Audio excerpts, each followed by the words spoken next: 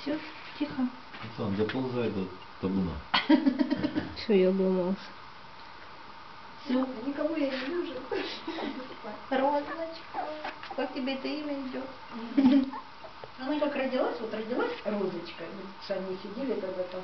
Ой, какая розочка, как она розочка стала. Да. И везде.